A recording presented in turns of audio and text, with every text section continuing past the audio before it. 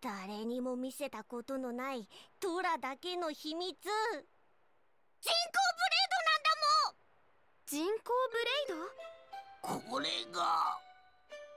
ドなんだもんトラはドライバーに憧れてたもん。でもトラにはトラにはドライバー適性がなかったんだもん。なんでそんなこと決めつけるんだよ。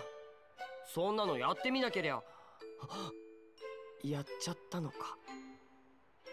トラは1年前ドライバースカウトに志願したんだもん。ダメじゃったのか。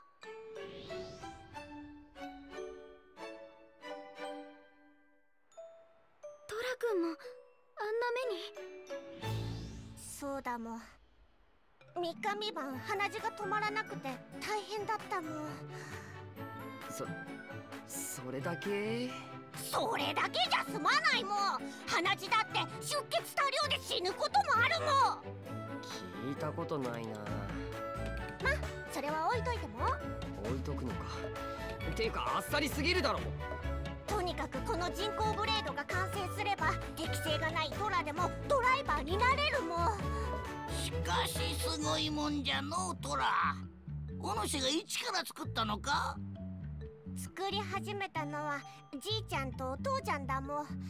でもじいちゃんは死んじゃって父ちゃんもどっかへ行っちゃったもん。だからトラはこいつを完成させてドライバーになって大活躍するもん。そしたら噂を聞きつけた父ちゃんも帰ってきてくれるもん。トラ君。ところでトラ。この人工ブレイド見たところほとんど完成しているようじゃがあとはどうすればいいんじゃ？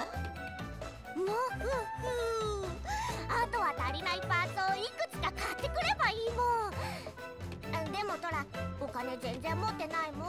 えー、マジで？マジだもん。全然？1ゴールドも？すっからかんもつまりはお金を貸してくれと？